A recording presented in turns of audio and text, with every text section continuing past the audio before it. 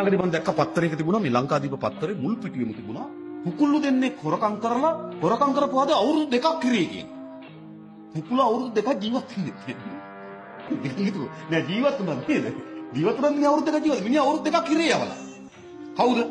කුකුල් දෙන හොරකම් රවි කරුණානායක වෙන්න පුළුවන්ද? වැසි රාජපක්ෂ වෙන්න පුළුවන්ද? අර්ජුන මහේන්ද්‍රන් වෙන්න පුළුවන්ද? හැරිසන් වෙන්න පුළුවන්ද? බෑ. සුවරෙට්ටම අපේ පන්ති ආවේ. අපේ ගම්වලකින් ඒගොල්ලෝ අවුරුදු දෙකක් කරගෙන කුකුළු දෙන හොරකම් කරා.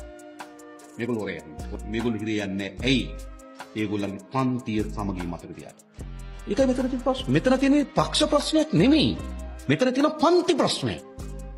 හොඳින් තේරුම් ගත යුතු ප්‍රශ්නයක් අපි ඒක. දැන් ඔයගොල්ලෝ බලන්න. වැලිකඩ ඔය ගියපු දවස් යන වැලිකඩ හිරගෙදර බලන්න. වැලිකඩ හිරගෙදර ගිහිල්ලා බලන්න පොලිමේ ඉන්නේ කවුද හිරකරුවෙක් බලන්න යන්නේ. කවුරු ඇවිල්ලා පඩි ජීප් එකකින් බෑලා හිරකරුවෙක් බලන්න එනවද? නෑ. ගමේ අම්මා කෙනෙක් අර ටීවී බෑග් එකේ තරම දාගෙන කෑම එකක් දාගෙන පොලිමේ ඉන්න හිරකරුවන්. හිරේ ඉන්නේ අපේ පන්ති මිනිස්සු. ඒගොල්ලන්ගේ පන්ති මිනිස්සු හිරේට යන්නේ. ඒ හිරේට යන්නේ.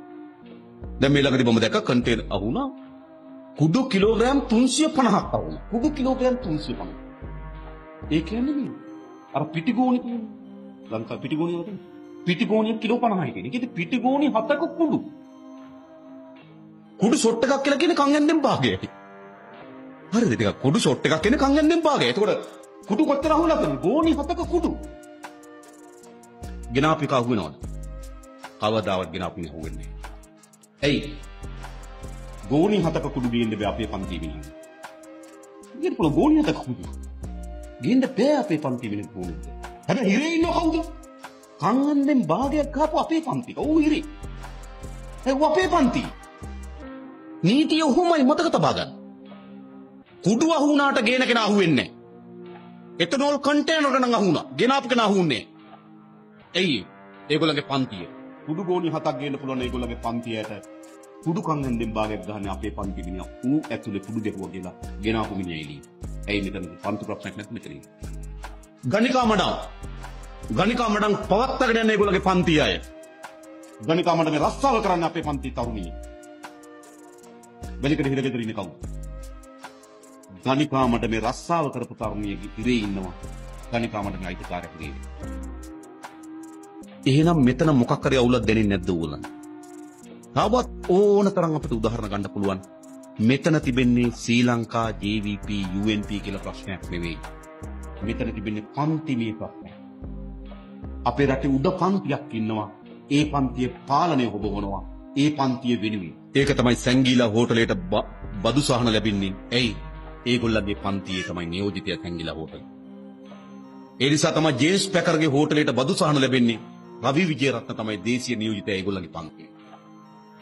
හරිද? ඒ නිසා තමයි ඔයල නේ තරුපය හෝටල් අපේ පන්ති මිනිහ ගහන්නේ නැහැ ඒවත් බදු සානම. ඒ ඒගොල්ලන්ගේ පන්තියට බදු සාන. අපේ පන්ති ඉල්ලනෝනේ. අඩුම තරමේ මම වසරකට යවපු යුරෝ ගාන දිහා බලලා මට බයිස්කලයක් දෙන්න බදු සානෙන්. නෝ කතා. ඇයි අපේ පන්තිය උදුන්නේ. එතන ඉතින් ප්‍රශ්න. එහෙනම් මේ කොච්චර ආණ්ඩු මාරු කරත් කොච්චර පාලක මාරු කරත් වැඩක් නැහැ. මෙතන තිබෙන පන්තිමේ ප්‍රශ්නය. උඩ පන්තියක් තියෙනවා. ඒ උඩ පන්තිය සමගි ඒ උඩ පන්තිය එකට ගැට ගහලා ඉන්නේ. බොරුවට බෙදෙනවා. හන්දයක් එනකොට මොකද කරන්නේ? මම ඇස් දෙකෙන් දැකලා තියෙන මට දෙයක්. ඔය පන්තිය මහා ධනවත් වෙල පොලිමේ සල්ලි දීලා යනවා. පොලිමේ මම දන්නවා වයසක මුදලාලි කෙනෙක්. දේශීය මුදලාලි කෙනෙක්. පැය එකමාරක් පොලිමේ තියා පොන්සක මහත්තයට සල්ලි දීලා යනවා. පැය එකමාරක්. පො 2000 මේක පොලිමින් මේ පෝර බෑග් වල බාගු පුරවල පුරවල සල්ලි දීලා ඉල කොට පන්ති කියලා කියන උඹලට සල්ලි දෙයි පක්ෂ දෙක සල්ලි දෙන්න. ඉල කියන ගම්වල ගිහලා සල්ලි බෙදපල්ලා. සාරි අරන් බෙදපල්ලා. අරක්කු ෆැක්ටරි ඒගොල්ලෝ ගාව අරක්කු ගෙවිලා දෙනවා. වාහන හන්දෙට නේද අපි දකින්න නැති වාහන දුවනවා. ඔය පන්ති ගාව තියෙන සියලු වාහන ඉවනවා. ඒවල කියන උඹලා පන්තිය රවටලා කොහමරි බලේ ගනින්න.